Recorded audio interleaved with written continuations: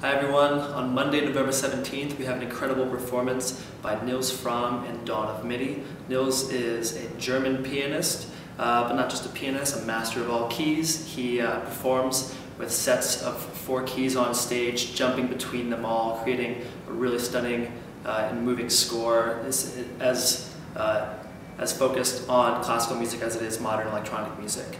Before Nils is Dawn of MIDI. Dawn of MIDI uses upright bass, drums, and piano to create music that is anything but traditional. It sounds like contemporary electronica made by instruments that you've grown up hearing all your life.